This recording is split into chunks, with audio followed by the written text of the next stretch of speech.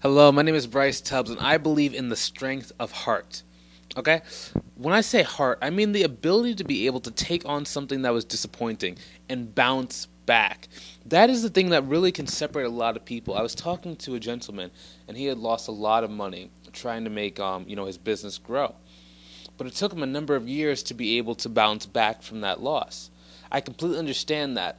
Um, you know, I, I, had a I had a loss too, but it took me one year. So right, so he had been in business for a lot longer than I had, but I was able to move faster because I was able to bounce back from one of my mistakes a lot faster than what, you know, than what that person was.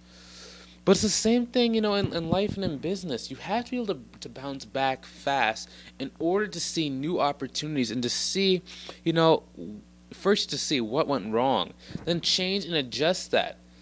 But if your heart is you know in the wrong place. If you've not developed strength in your heart it's going to slow you down it's going to cause you to miss out on a lot of things that life has to offer. If you want to learn how to reach your goals faster go join my group called uncapped growth strategies. There's a link either above or below the video depending on where you're seeing this. Have a great day. Talk to you soon and see you later